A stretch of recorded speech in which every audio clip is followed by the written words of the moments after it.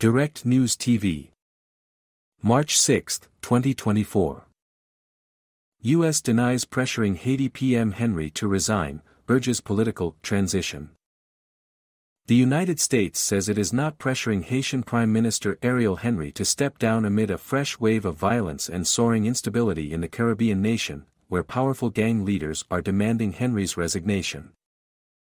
During a news conference on Wednesday afternoon, U.S. State Department spokesman Matthew Miller said Washington is not calling on him, Henry, or pushing for him to resign.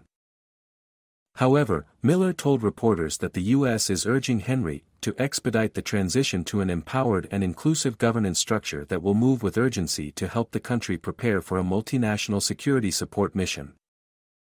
That mission, which has the backing of the United Nations but has been stalled for months, will then address the security situation and pave the way for free and fair elections in Haiti, Miller said.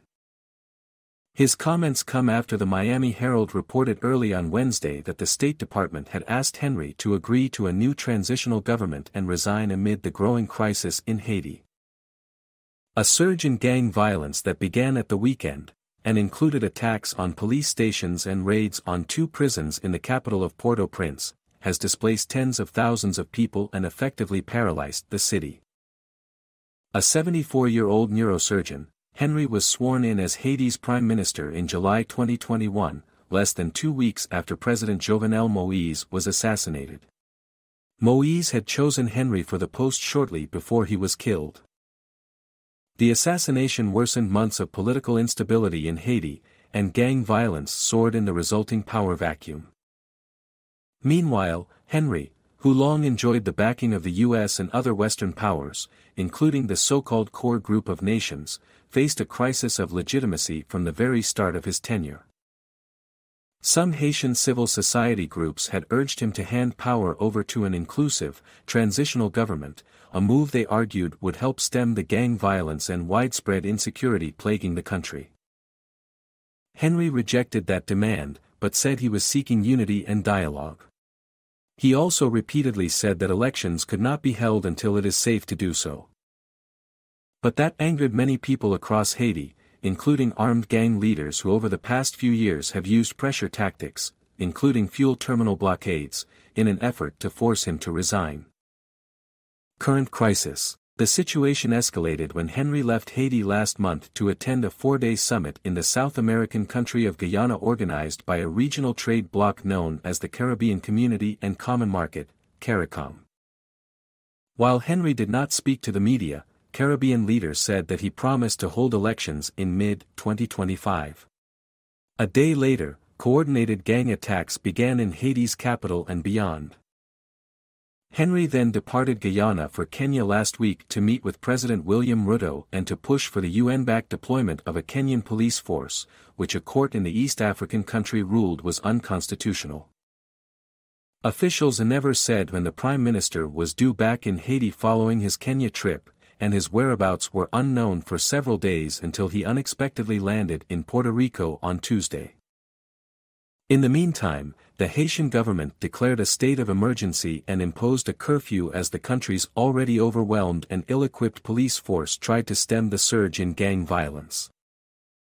Schools and shops have closed in Port-au-Prince, where gangs are believed to control about 80% of the city, and 15,000 Haitians have been forced to flee their homes in recent days, according to the UN Office for the Coordination of Humanitarian Affairs, OCHA.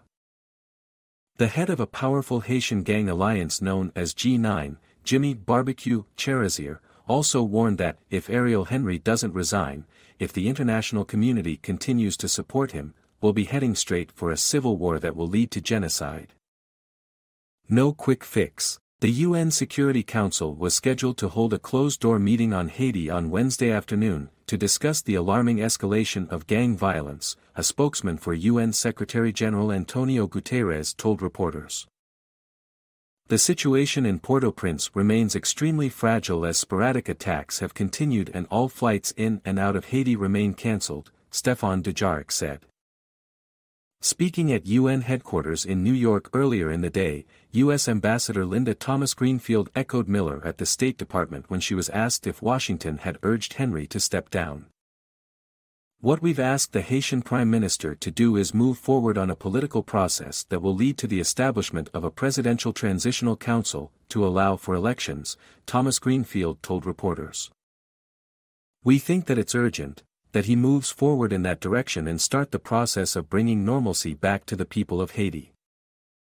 Jake Johnston, a senior research associate at the Center for Economic and Policy Research in Washington, D.C., and expert on Haiti, said it is no surprise that the U.S. government is denying reports that it is asking Henry to resign. But what they are saying they are asking Henry to do is likely to result in his resignation, because nobody is making a political deal that keeps him in power, Johnston wrote on X. Emmanuela Douyon, a Haitian rights advocate and analyst, also wrote in a social media post that there is no quick fix for such a profound and protracted crisis. It's urgent to act to save lives, protect the population, restore peace, and reinstate democratic order. This necessitates addressing not only the activities of gangs but also tackling corruption and criminal activities, including collusion with gangs within political and economic elites, she said. To guide this process efficiently and keep it as short as possible, we need capable and credible leaders, some political consensus, and a significant amount of political will. It is imperative to ensure that forthcoming elections are inclusive, free, fair, and credible. My name is Kingsley. Please like, share, subscribe and hit that notification bell so you can be the first to be notified whenever we post, you won't regret it.